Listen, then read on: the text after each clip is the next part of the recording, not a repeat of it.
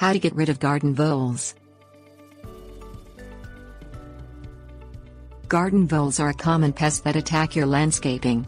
They are similar in size to a mouse, but have larger claws that allow for digging. Voles not only tear apart the garden but also can eat plants and damage bulbs. You can make an inexpensive mixture that will keep the voles out of your garden without requiring you to kill them. Things you'll need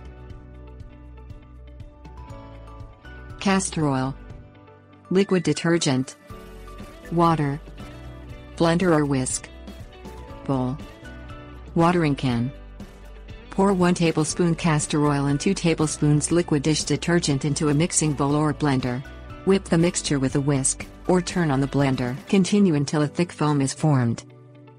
Pour 6 tablespoons of water into the mixture and blend or whisk again until you have a consistency of shaving cream. Drop about 2 tablespoons of the mixture into a watering can and fill the can with water. Sprinkle the watering can over the entire garden, and repeat as needed until the entire garden is covered with a moist sprinkling of the water mixture. Repeat weekly, or as needed if you notice garden damage.